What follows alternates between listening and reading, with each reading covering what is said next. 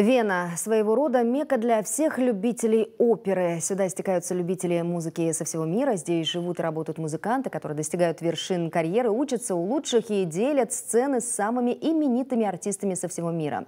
Немногим известно, но наша страна тоже делает немалый, немалый вклад в развитие культурного наследия Европы. В Венской опере пела Мария Чеботари, известный во всем мире бессарабский соловей, как ее называют. Также здесь на протяжении десятилетий работают знаменитые музыканты, которые приехали сюда из Молдовы. И сегодня мы познакомим вас с Александрой Тырсу, скрипачкой, которая приехала в столицу Австрии на учебу и осталась в Вене, городе, который день ото дня вдохновляет ее на творчество. O melodie care um, descrie Viena cel mai bine, un vals vienez.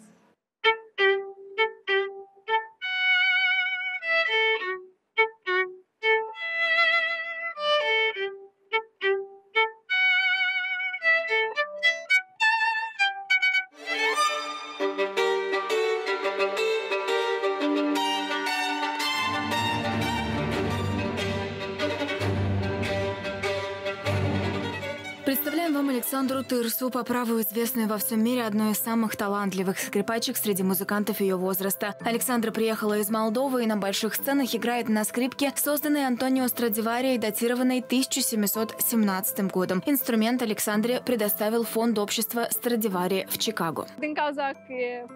Сегодня очень жарко, поэтому я не смогла взять ее с собой, но я сыграю на скрипке копии Гварнери. Я использую этот инструмент, когда играю концерты на открытом воздухе концерты open air. Александра Тырсу – выпускница одного из самых признанных в мире музыкальных институтов. Девушка окончила Венский университет музыки. После окончания учебы Александра решила остаться в Вене. Говорит, что австрийская столица – настоящий дом музыки, где буквально на каждом шагу можно найти вдохновение к созданию искусства. Вена fiind orașul muzicii, Вена – город музыки. Здесь очень много прекрасных, знаменитых и очень важных концертных залов. Сейчас мы рядом с концерт-хаусом, где я выступала несколько раз. Уровень музыки здесь очень высокий, особенно когда речь идет о классической музыке. Если вы пойдете вечером на концерт, в любом концертном зале будут выступать настоящие звезды. Это получает и внушительную поддержку от государства. Выделяется очень много средств на искусство, на различные проекты и на культуру. Это город с богатой историей, и легко понять, что гораздо проще создавать музыку, там, где тебя все вдохновляет. Идешь по одной улице, здесь жил Бетховен, идешь по другой, там жил Моцарт.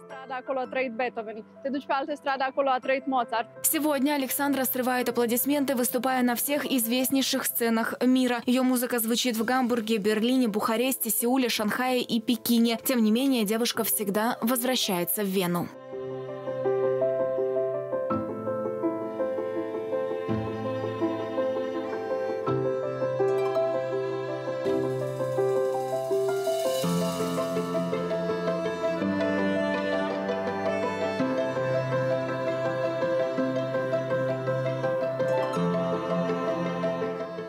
În inima Europei, Viena este incontestabil centrul cultural al Austriei și una dintre capitalele mondiale ale muzicii. Operele, concertele, spectacolele de teatru joacă de secole un rol important în viața vieneză, iar mulți compozitori cu renume mondial, precum Mozart sau Strauss, au trăit și au locuit uh, în această metropolă.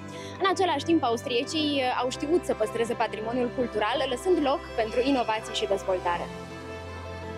Михаила Мукану, которая совсем недавно завершила свою миссию в Австрии, где возглавляла дипломатический корпус нашей страны, с гордостью рассказала нам о том, что молдавские артисты делают огромный вклад в продвижение имиджа нашей страны, выступая во всем мире и заявляя о том, что они родом из Молдовы.